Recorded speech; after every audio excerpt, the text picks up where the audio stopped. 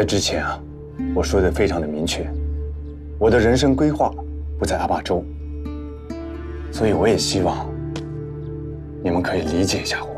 从现在来看，阿坝州的发展也是一路向好啊，不比国外差，啊。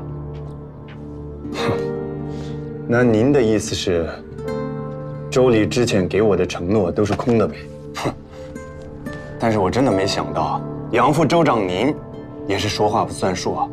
没有说话不算数，因为阿坝州现在需要人才，所以呢，有希望你留下来，把这段事情呢完整的做好。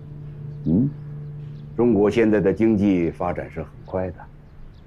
就算你到了国外，不一定在那儿混的比在国内强。而且呢，跑到别人的饭碗里去抢饭吃，难道比建设自己的家乡还要显得高大上吗？对不起，杨副州长，我不像您啊，会说这么多的大道理。但是我知道一点，男人就应该是说话算数，说好两年出尔反尔。这种事情我是没办法接受的。你接受不了的事情多了。什么叫出尔反尔？枪寨的事情是你挑头干的，到现在做好了吗？取得一点点成绩沾沾自喜啊，半途而废，这叫负责任吗？留你怎么不对了吗？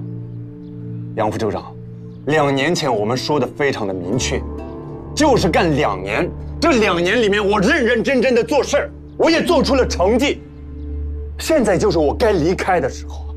再说了，这是关系到我的事业，关系到我的学业，还关系到我的爱情和婚姻。所以，杨副州长，请你不要再劝了，好不好？一切事情都在变。如果你还是个爷们儿，就老老实实在这儿，把这事情完整的做好了。